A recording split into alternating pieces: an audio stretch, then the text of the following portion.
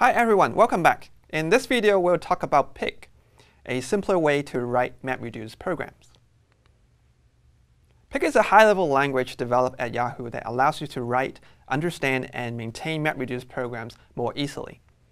A Pig program that you have written can automatically be converted into MapReduce programs, so you don't need to implement many map and reduce functions from scratch.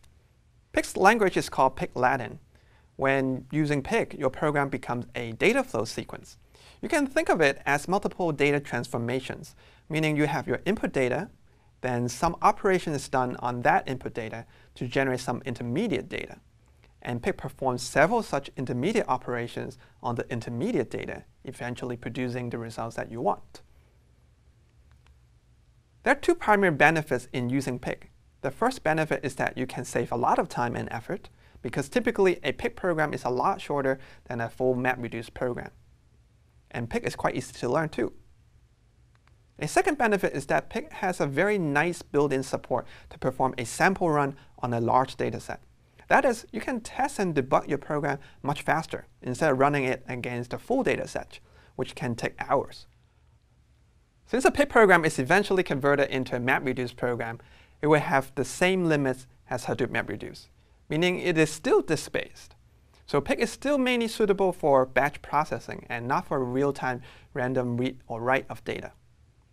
A Pig program could be slower than a MapReduce program that you write from scratch, because Pig may need to figure out quite a few details, such as what map and reduce function it should convert your Pig script into.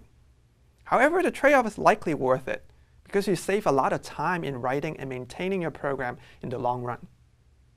You can try Pig easily because Pig is a client-side application, meaning it runs on your computer.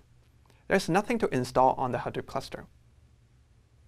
There are two ways to run Pig. One is the local mode, which is great for smaller dataset and can be run on your computer.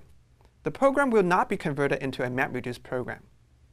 Another mode is MapReduce mode, where your program will be converted into a MapReduce program, which can then be run on a Hadoop cluster.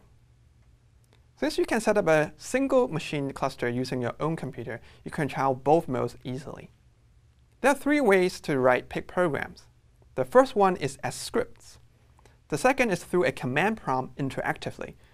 We'll look at an example of how to do that in later video. Pig's interactive shell is called Grunt, and like any interactive programming, it's great for debugging.